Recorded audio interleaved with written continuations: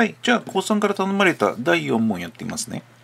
えー、1番、168を素因数分解するとこれこれであると。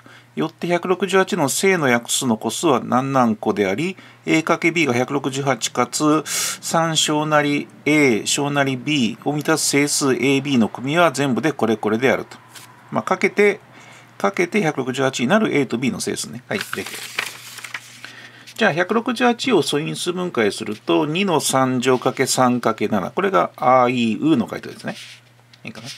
で、えー、約数、正の約数の個数はこれに1足して、これ1乗だから1に1足して、これも 1, 1乗だから1に1足して、えー、かけるんでしたね。で、答え16個と。正の約数はね、AO と。で、さらに AB は、かけて168になればいいので、168にね。ということは、3×56、4×42、6×28、7×24、8×21、12×14 と。左の A がちっちゃいので、まあこれしかない。計6個ね。これいいかな。はい、で次2番。えっ、ー、と、正の約数 n は、正の約数の個数が6個であり、えっ、ー、と、正の約数の総和、じゃこれ総和のやり方がありましたね。168とすると。このような正の整数 n のうち、異なる2つの素因数を持つものを求めようと。こういう p と q みたいな異なる2つの素因数ね。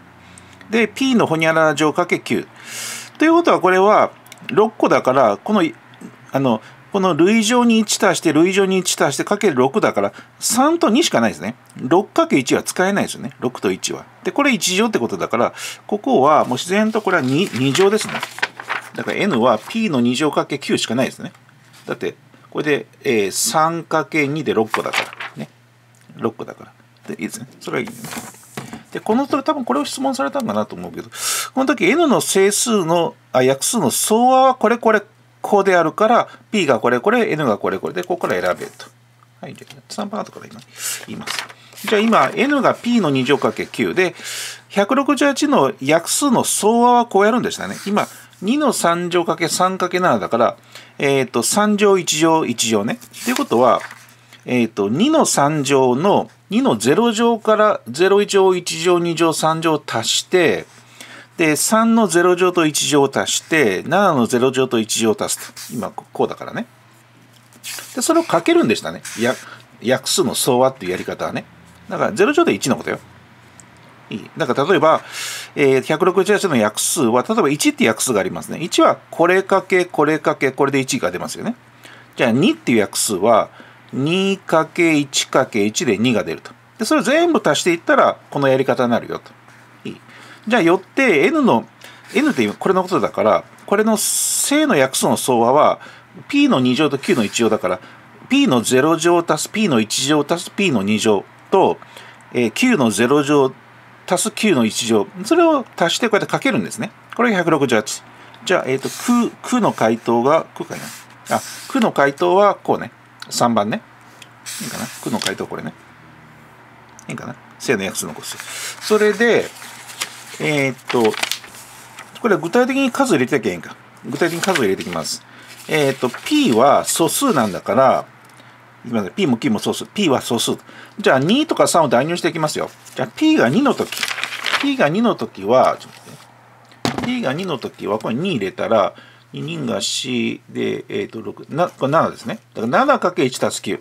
7×1 たす9、168。じゃあ、7で割ったら1たす9は24。これ OK と。あの、9は素数だから整数ならないといけないから24、整数 OK。じゃあこれは OK と。あと、後々使えると。じゃあもし P が3だったら、ここに3入れてみてください。サザンが9で10、13ですね。じゃあ両辺13で割ると、1たす9がこれ分数になっちゃう。つまり小数な、小数で整数じゃなくなると。だから1たす9は整数じゃないとおかしいので、これは使えないと。これは使えないと。で、同じように P が5の時も、P が5の時も、この中5入れますよ。25で3 31ですね。じゃあ 31×1 たす9で31で両辺を割ると、これも整数ならないと。これも使えないと。P が5の時は使えないと。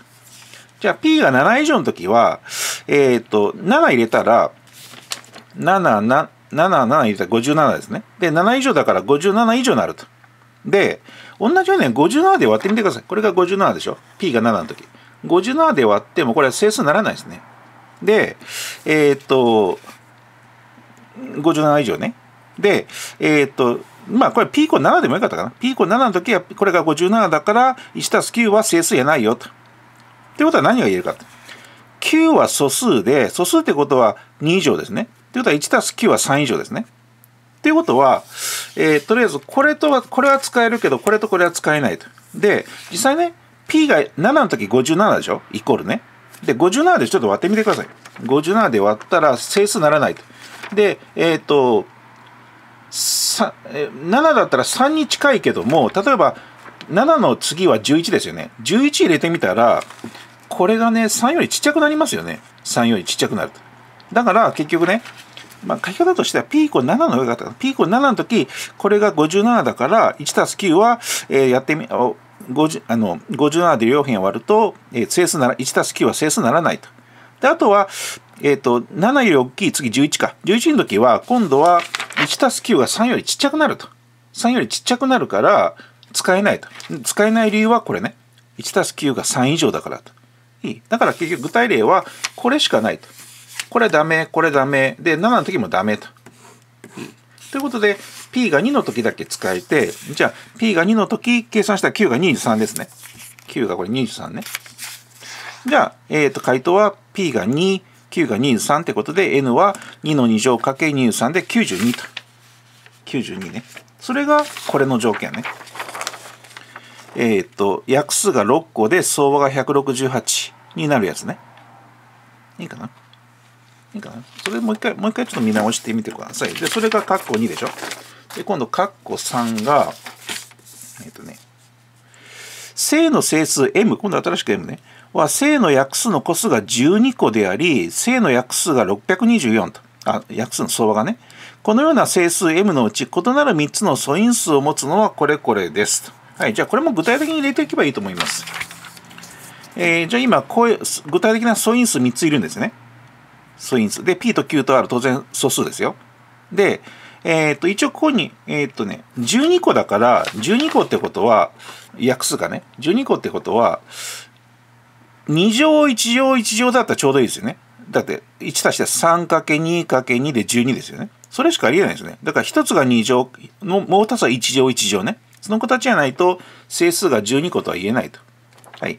で、あとは、そう異なる3つの素因数だから、1つ、2つ、3つね。で、条件は、これとこれは R の方が大きいと。P は、まあ P は何でもいいんやけども、P は Q と R の代償関係と関係ないと。で、もう2、必ずここ2乗ね。で、えー、この条件と。そしたら、えっ、ー、と、2だから、結局、1、P の0乗足す P の1乗足す P の2乗かける Q の0乗足す Q の1乗ね。かける R の0乗足す R の1乗と。それが624になればいいんですね。あの、相和だから。正の約数の相和がね。で、624。ということは、624素因数分解したら2の4乗かけ3かけ13になると。で、ここで、Q と R は異なる、異なる素数ですよね。ということは、あの素数ってことは2以上だから、2小なりイコール9小なり R、これが成り立ちますよね。そしたら、1たす9、つまりここのとこね、1たす9と1たす R は、少なくとも1たしたら3、3、9たす1、9、R たす1だから、1たす9と1たす R は 3×4 をよりは大きいですよね。いいですか？だから2以上だから。絶対3以上、3以上、4以上だから、3×4 の12以上になると。いい。そしたら、えっ、ー、と、結局今、これが12以上なんだから、両辺12で割ると、52なんだけど、1たす p たす p2 乗は、ここのとこは、これが12以上、まあ12でもいいですよ。イコール12でもいいんやけど、ただこれが12だから、これが52になりますよね。これ終わったら52だから。だから52以下になりますよね。これが12以上なんだから、12で割ったら52だから、52だから、52以下になると。1たす p たす p 以上がね。じゃあこれをヒントに、じゃあ具体的に入れましょう。p が2の時。p は素数ですよ。p が2だったら、これが7になるから、じゃあこれ7、これが7になるから、お互い7で割ったら、1たす9と1たす r の掛け算がこうなって、整数ならないと。整数ならないとおかしいですね。だからこれはダメと。p が2の時は使えんと。同じように p が3の時も、これが13だから、お互い、これ13だから13で割ったら、これが分数になっちゃう。あ、ごめんなさい。整数になると。これは OK か。OK。これ使えると。で、p P と Q があ Q と R がこの条件でこの条件だから1たす Q と1たす R は364268しか使えないと。これしかね。あの Q のがちっちゃいんですよ。R のが大きいと。いい。だからかけて48だからこれかけて484848ってことはこれ1引いて1引いて1引いていったら Q と R は253157かいい。で PQR は異なる素数じゃないとおかしいですね。だって、これ同じ素数だったらおかしい。これ2の2乗とこれ2だとおかしいですね。だから、P と Q と R 異なる素数だから、えー、答えは、この57を使って、357しかありえないと。357しかね。今、P が3の時ですよ。今、P が3の時調べたんですよ。P が2の時はダメだったと。P が3の時今調べたら、答えがこう出たと。で、異なる素数だから、だから357。これ使ったら、3311になりますね。で、これやったら3215。15は素数じゃないですよね。だから、使えるのはこれだけと。これしか使えないと。ということで、PQR は357と。いい。で、P が、今、P が2、3調べて、今度5調べますよ。5の時は、これが31になるから、両辺を31で割ると、両辺、これ、つまりこれをね、これ31になるから、31で割ると、えっ、ー、と、整数ならないと。だから P が5の時ダメ同じように P が7の時も整数ならないと。あとは P が11の時はダメですね。P が11以上。まあ、さっきの2番 ,2 番のやり方と全く一緒なんですが、11より大きくなると、えっ、ー、と、P たす、えっ、ー、と、これ、これがおかしくなりますよね。これがね、この式成り立たなくなると。1、えっ、ー、と、P が11以上だったらね、P が11以上だったら、えっ、ー、と、これとこれが2以上が成り立たなくなると。だから7までしか使えないと。っていうことは結局、P が、えー、と3の時、つまりこれの時しか使えないと。ということで回答は357ね。3の2乗かけ5かけ7ととしてください。いいかな？じゃあもう一回、えっ、ー、と、繰り返し、あもう一回前から見て何回も見たらまあわかると思います。多分質問されたら2番なんかなと思うけど。はい、以上。